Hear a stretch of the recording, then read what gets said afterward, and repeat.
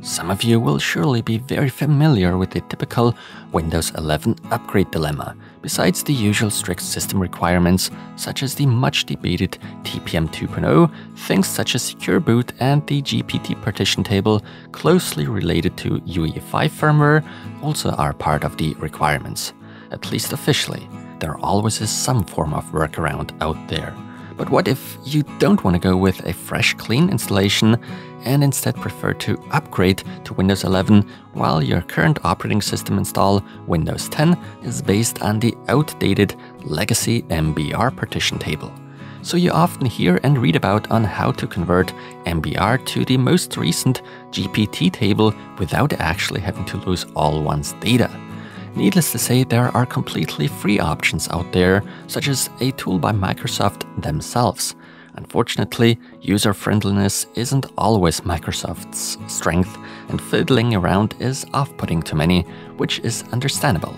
So, in this video, I'm going to show you the usual dilemma we tend to run into, and will then show you how you can easily and effectively convert MBR into GPT without any data loss.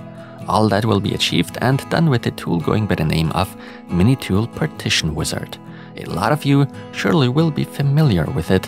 It's a fairly versatile piece of software that doesn't just offer partitioning functionality, but also cloning and conversion processes. Quite a few of those mentioned things are usable even in the freeware version of the tool. At this point, I'd like to make it very clear that this is a sponsored video, meaning I'm getting paid to produce it. Every single dollar helps me pay bills and keep my channel up and running. Nonetheless, a sponsorship doesn't influence or bend any of my opinions, which is why I'll clearly point out that it's not just Minitool offering us these kind of features, but lots of competing software packages do too.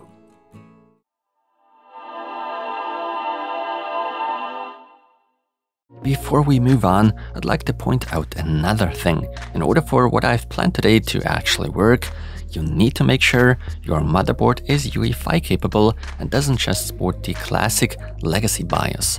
Of course, there are certain unofficial workarounds to bypass these requirements, but one would have to go for modifications, and that's really not the point of today's video. So let's get started. I've already prepared a fresh installation of Windows 10 with the latest updates installed. Now in order to even check what partition table your Windows is actually running on, you could simply fire up the disk management and inspect the drive in question. As you can see, my Windows 10 install, in this case, is running on the master boot record, MBR. Just ignore my second drive, titled Windows 11 here. That's only my personal private installation. One way to check whether or not your PC is Windows 11 ready is to download and run the PC Health Check tool by Microsoft. That tool tells me right away that Secure Boot is a must here too. If I were to plug in my Windows 11 USB flash drive and try to run the installer, I wouldn't get any further due to that missing Secure Boot implementation. Secure Boot, however, is closely related to UEFI and thus the GPT partition table. Nonetheless, let's assume I have very little idea what I'm doing and just follow along. Therefore, I make my way into the UEFI BIOS, basically the firmware of my motherboard, and locate the Secure Boot function. I easily found it and tried to enable it, but I immediately failed to do so. A platform key is needed. Luckily, one can usually easily install such without any issues, but now it says CSM needs to be disabled. Well, not a problem either. After saving and rebooting, I am now finally allowed to properly enable Secure Boot. It's just a bummer that the old school legacy drive now completely disappears from the UEFI BIOS. We are talking of exactly the drive Windows 10 is installed on, and that's despite the SSD clearly still being connected via SATA. So we obviously won't get any further here. So all those steps I've taken need to be rolled back again. Now back within the disk management, we could try and snoop around. Maybe there actually is an option to simply convert to GPT in here. That of course does not work. So it's time to get some assistance from the software package Minitool Partition Wizard. We are in fact given the choice to go for a few different languages here, but I'm going to pick English. The next step leads us to a nice offer in fact. We can go for a trial of the pro version of the Partition Wizard. In that case, I'm not going to say no to this, even though I actually do own a license key I could make use of. Maybe I'll need it anyway, we'll see. Following that, we'll have to go through the usual boring installation procedure, we all know how that goes. Alright, very well.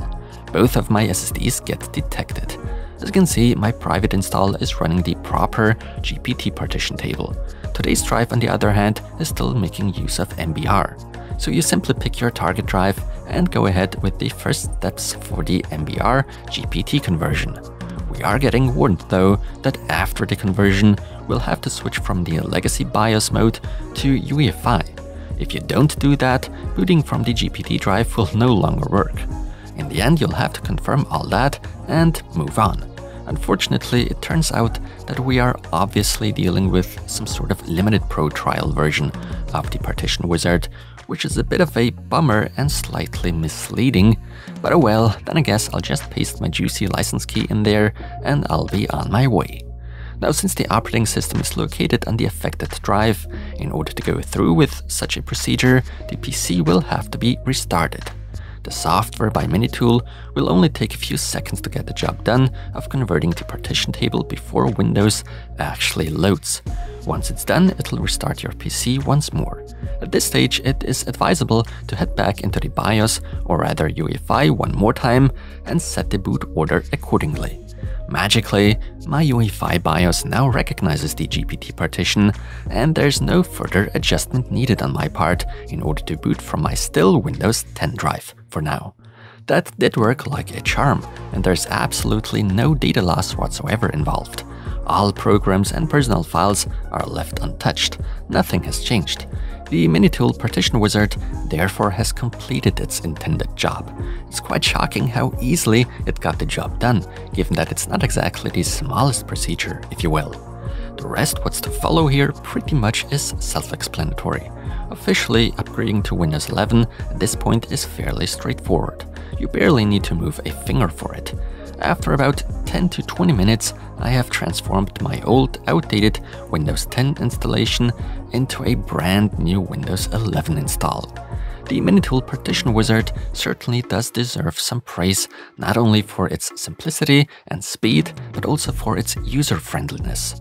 Of course, the procedure I've shown didn't happen free of charge.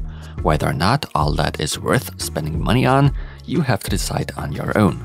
Alternatively, you could just use Microsoft's own, but more complicated option, or you just go ahead and aim for a fresh, clean installation of Windows 11 with all the right settings beforehand. With that being said, it's time to end this video. Hopefully a few of you found it somewhat helpful.